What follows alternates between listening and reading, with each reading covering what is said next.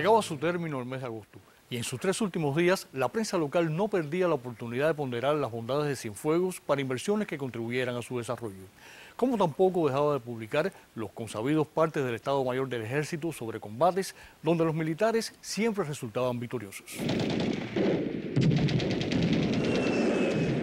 Y ya se anunciaban los preparativos en Cienfuegos para los festejos oficiales por el 4 de septiembre, fecha en la que el régimen recordaba el primer golpe de Estado encabezado por Batista en 1933 contra el gobierno provisional del presidente Carlos Manuel de Céspedes.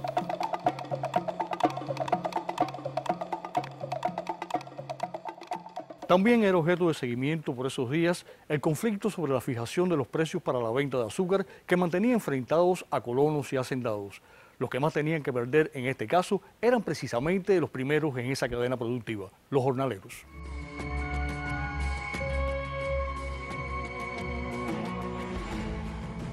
Agosto terminaba con una inusitada actividad meteorológica y también con ciertas declaraciones que se contradecían con la situación revolucionaria imperante en el país y que cuatro días después tendrían en Cienfuegos una de sus expresiones más connotadas.